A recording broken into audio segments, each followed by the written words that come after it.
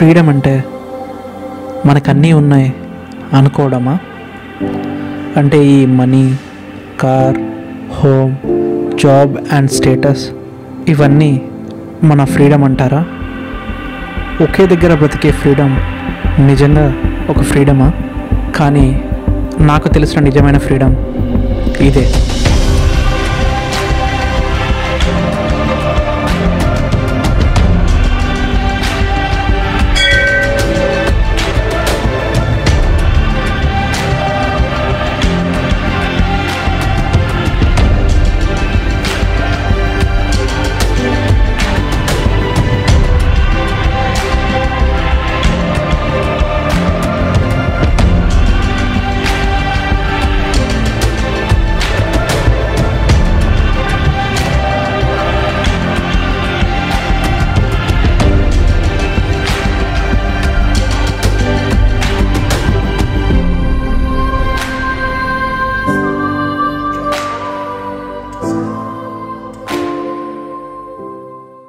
One, two, three, four.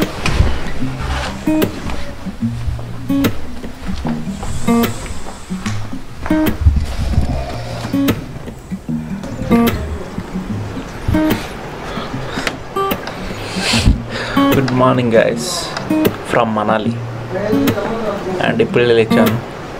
నా ఎదురుగా view చూస్తే అస్సలు నమ్మరు.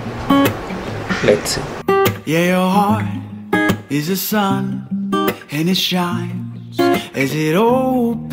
Where your heart is the sun and it shines as it opens. Yeah, your heart is a sun and it shines as it opens. Where your heart is the sun and it shines as it opens. Yeah, your bones are the earth and they sing with the mountains.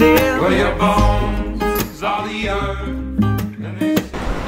వర్షం పడుతుంది. అంటే వర్షం means ఒక మంచులాగా పడుతుంది.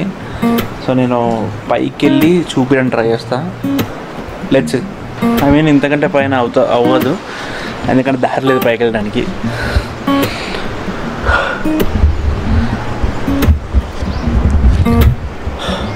కిందకి వెళ్దాం. మన బాల్కనీలో కూర్చొని ఎంజాయ్ చేద్దాం వ్యూని అండ్ uh, మా చెల్లి మా ఆవిడ ఇంకా పడుకుని ఉన్నారు. కావాలనే లేపలు ఎందుకంటే టైడ్ అయిపోతున్నారు. నేను టైడ్లోనే ఉన్నా. కాకపోతే నాకు ఇవన్నీ కొంచెం పిచ్చి కదా. సో అందుకే అలారం పెట్టుకుని పొద్దున్నే లేచా. Then now it's enjoy time Yeah, your heart is a sun and it shines. As it opens. Where your heart is the sun and it shines as it opens. Yeah, your heart is a sun and it shines as it opens. Where your heart guys you can see కొంచెం కొంచెంగా మబ్బులు ఆ మేఘాలన్నీ fade out అవుతున్నాయి so మనకి క్లియర్గా కనిపిస్తుంది అంతా ఇదంతా యాపిల్ ట్రీ నాకు తెలిసి ఇప్పుడు డ్రోన్ షాట్ తీస్తే సూపర్గా ఉంటుంది. సో హోటల్ వ్యూ చూపిస్తాను మీకు డ్రోన్ షాట్లో లెట్సీ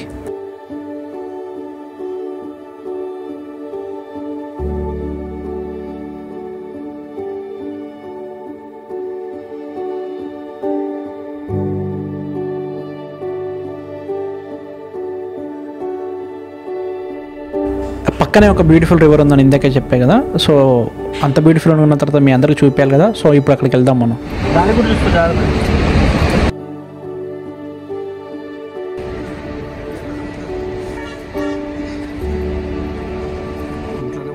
ఆల్మోస్ట్ ఒక వన్ అండ్ హాఫ్ కిలోమీటర్ ఉంటుంది మన రూమ్ దగ్గర నుంచి ఈ రివర్ దగ్గరికి. అండ్ ఈ రివర్ పేరు వచ్చేసి బ్యాస్ నది అంటారు తెలుగులో. హిందీలో బ్యాస్ రివర్ సో ఇది హిమాచల్ ప్రదేశ్లోనే మోస్ట్ బ్యూటిఫుల్ రివర్స్లో ఇది కూడా ఒకటి. ఇది మనాలి హైవే పక్కనే బ్యూటిఫుల్గా ప్రవహిస్తూ ఉంటుంది. చూడడానికి అయితే అసలు కళ్ళు సరిపోలేదు. అది వర్షాకాలం తెల్లగా డైమండ్స్ లాగా వాటర్ పారుతుంటే wow so beautiful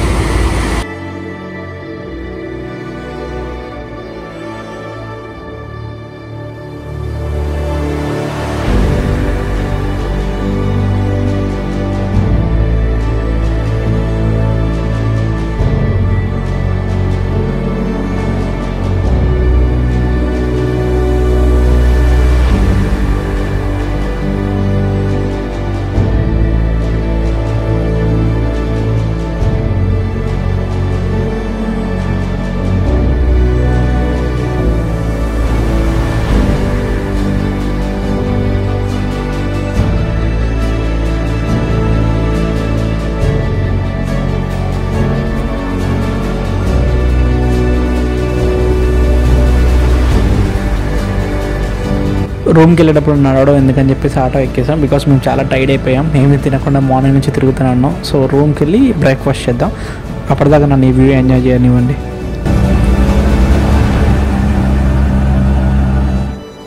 so మనాలిలో morning breakfast special poha and uh, bread omelette కూడా తెప్పించుకున్నాం. సో ఎంజాయ్ చేస్తా ఇప్పుడు. బ్యూటిఫుల్ లొకేషన్లో బ్యూటిఫుల్ చాయ్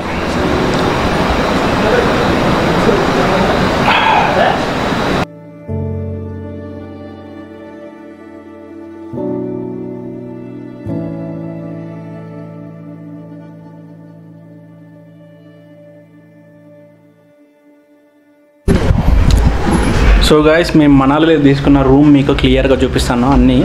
ఒకసారి చూడండి.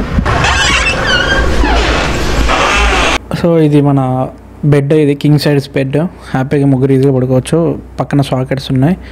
అండ్ ఇది వచ్చేసి కబోర్డు బట్టలను పెట్టుకోవచ్చు. కాకపోతే మనం వెంటనే ప్యాక్ చేసుకొని వెళ్ళిపోతాం అని చెప్పి బట్టలు ఏమి అందులో పెట్టుకోలేదు.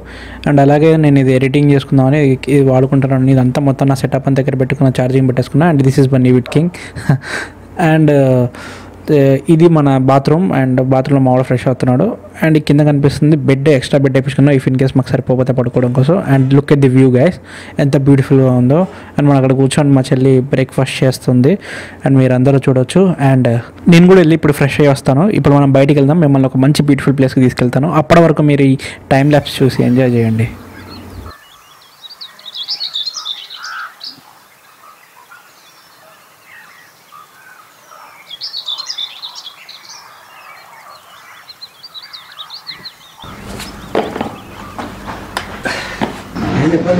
उधर ले रहा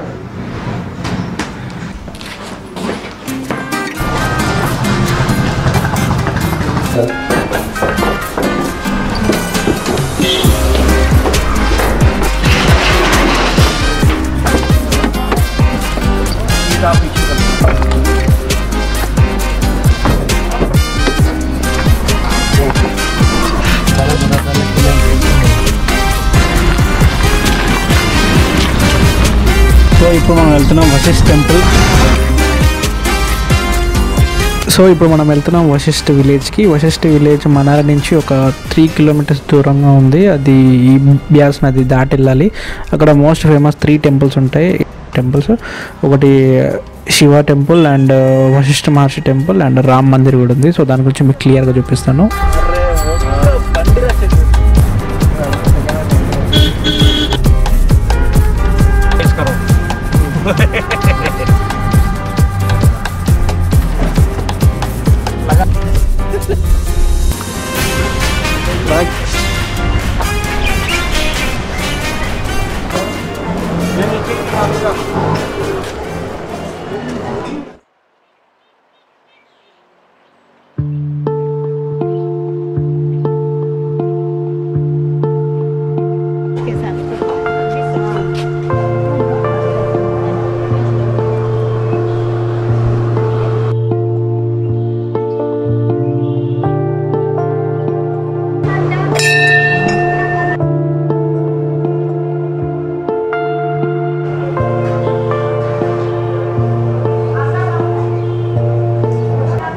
సో గైస్ ఇది మన వశిష్ఠ దగ్గరికి వచ్చేసినాం. మన బ్యాక్గ్రౌండ్లో ఉంది శివ టెంపుల్ సో దీనికంటే ముందు ఒక డోర్ ఉంటుంది. ఆ డోర్ లోపల నుంచి లోపలికి వెళ్తే వశిష్ఠ టెంపుల్ ఉంటుంది. వశిష్ఠ మహర్షి గురించి. సో లెట్స్ గో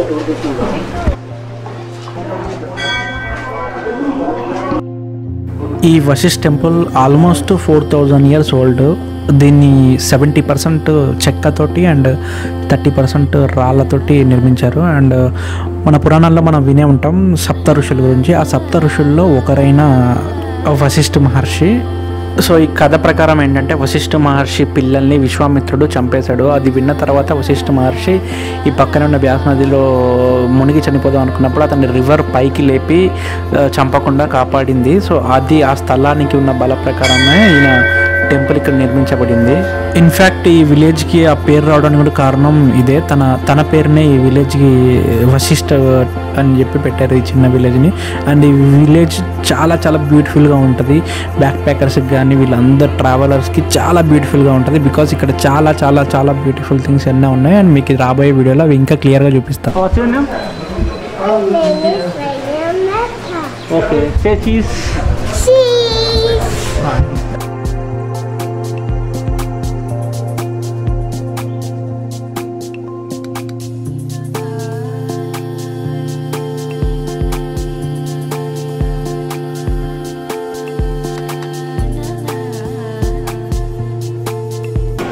హిమాలయాస్లో హిమాచల్ ప్రదేశ్లో మన రాముడి గుడి. మన అని ఎందుకన్నానంటే నేను భద్రాచలం దగ్గరే ఉంటా సో కాబట్టి మన అనే ఫీలింగ్ నాకు ఉంటుంది ఖచ్చితంగా. అందులో హిమాలయాల్లో మన రాముడి గుడి అసలు ఒక రేంజ్లో. నైస్ చాలా బాగుంది. అండ్ దీన్ని చూస్తే నాకు అర్థమైపోతుంది చాలా పురాతనమైంది. ఈ గోడ కానీ అంతా నీట్గా అర్థమవుతుంది. మీరు క్లియర్గా చూడొచ్చు. కొన్ని వందల సంవత్సరాల క్రితం గుడి ఇది. ఈ రామ్ మందిర్ ఎగ్జాక్ట్లీ వశిష్ఠ మహర్షి టెంపుల్ ముందు ఉంటుంది. రాముడు లక్ష్మణుడు విశ్రాంతి తీసుకునేటప్పుడు వాళ్ళు అలసటగా ఉన్నప్పుడు స్నానం చేద్దామని చెప్పేసి లక్ష్మణుడు తన బాణాన్ని భూమిలోకి కొట్టాడనమాట సో అప్పుడు ఇక్కడ ఒక హాట్ స్ప్రింగ్ అంటే లైక్ ఒక చిన్న కొలను లాంటిది ఏర్పడింది. దాంట్లో మూడు వందల అరవై ఐదు రోజులు ఏ సీజన్ అయినా సరే మంచు పడుతున్నా ఎండగా ఉన్నా వర్షం పడుతున్నా అందులో వేడి నీళ్ళు వస్తూ ఉంటాయి. అలాగే ఇక్కడ వాళ్ళ నమ్మకం ఏంటంటే ఈ వేడి నీళ్ళతో స్నానం చేస్తే మనిషిలో ఉన్న ఏ రోగమైనా పోతుందని చెప్పేసి ఇక్కడ వాళ్ళ నమ్మకం. సో అందుకే ఇక్కడ రాముడి టెంపుల్ నిర్మించబడింది. గుడిలో రాముడిది సీతది లక్ష్మణుడిది విగ్రహాలు ఉంటాయి. సో ఇది చాలా చాలా బ్యూటిఫుల్గా ఉంటుంది హిమాలయాస్లో.